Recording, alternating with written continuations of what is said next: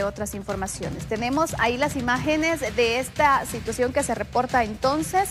Vean ustedes, definitivamente son parte de los operativos que se llevan a cabo y que se están entonces desarticulando distintas estructuras.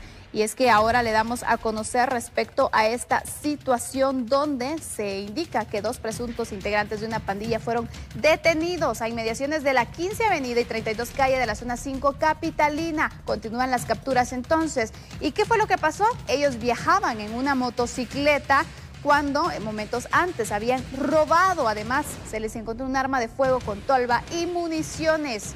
Se trata de Uber Estuardo García Hernández, alias El Cisne, de tan solo 20 años, y también un joven de 14 años, apodado como El Giovanito, quien fue trasladado al juzgado de menores en conflicto con la ley penal. Se les ha incautado entonces una pistola con 15 municiones útiles, estableciéndose por parte de las autoridades que estos individuos se dirigían a otro sector, escuche bien, a dejar el arma, de fuego junto con el vehículo de dos ruedas que minutos antes habían robado en la zona 5 y que servirá o serviría para cometer ataques armados contra transportistas. Por medio entonces de este medio de transporte se buscaba delinquir, imagínense. Al momento de identificar a estos individuos a través del, dispositivo MI3, se constató que García Hernández tiene tres órdenes de captura vigentes en su contra por los delitos de portación ilegal de arma de fuego y amenazas. Así que se le suma otro delito más y se logra evitar también un ataque armado por parte de estos dos sujetos, este joven alias el Giovanito